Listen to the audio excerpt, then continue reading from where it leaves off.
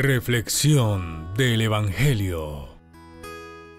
Gloria a ti, Señor Jesús.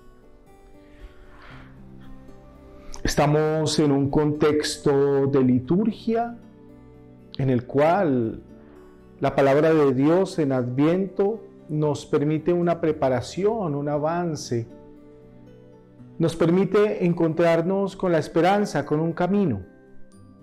Concretamente, el pueblo de Israel había esperado por muchísimos años al Salvador, al Mesías. Este adviento nos hace recordar esa figura del pueblo de Israel, el pueblo sufriente, el pueblo esclavo, el pueblo esperanzador que quiere que Dios se manifieste humanamente y que envíe al Salvador. Las lecturas de Mateo, concretamente en el día de hoy, nos reflejan ese sentimiento. Vendrá Elías. ¿Qué haría Elías si viniera? El Señor confirma y hace concretamente las palabras diciendo que Elías ya llegó y que la generación que está viendo ese fenómeno, pues es una generación que ya se enteró del milagro de Dios. Sin embargo, los apóstoles no alcanzan a entender y la gente que rodea a Jesús no alcanza a entender y piensan que se trata de Juan el Bautista. No están pensando en que sea él, Jesús, o que haya una autorreferencia de él mismo. Bien, suele sucedernos así. En ocasiones, esperamos muchas cosas en la vida. En ocasiones, esperamos grandes acontecimientos.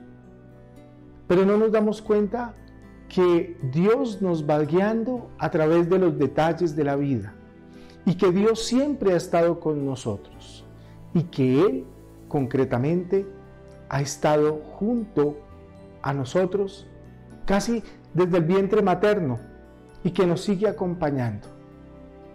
Y queremos milagros, pero no nos hemos dado cuenta del milagro de la vida. Y queremos milagros, pero no nos damos cuenta del milagro de los padres, de los abuelos, de los hermanos. Queremos mucho más milagros en nuestra vida y no nos damos cuenta de la inteligencia, del lenguaje, de la expresión corporal. Así pasaba más o menos con los discípulos en esa época. Tenían a Jesús, tenían el milagro y no se daban cuenta que el Señor estaba actuando en sus vidas en ese momento. Hoy cuando iniciamos todo este proceso del tiempo litúrgico de Adviento, debemos pensar en qué lugar hemos puesto a Jesús en nuestras vidas.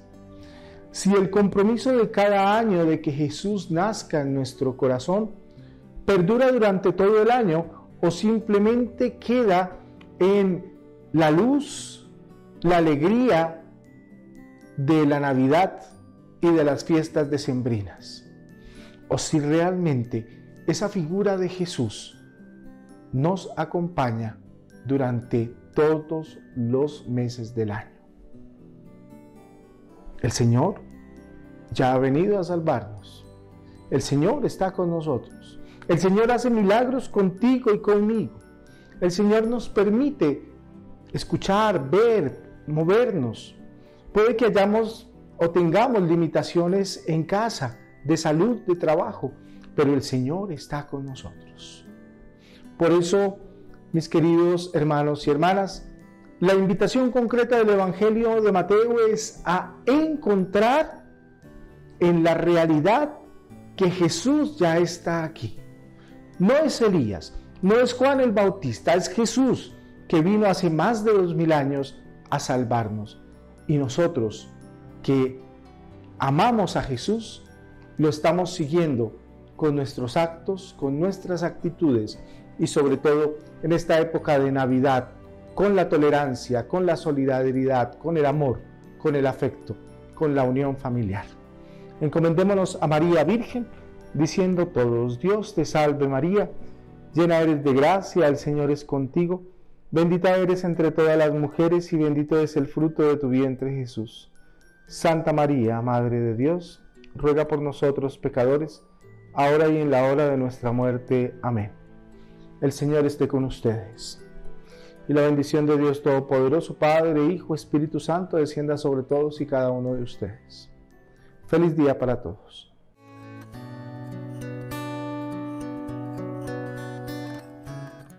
Reflexión del Evangelio.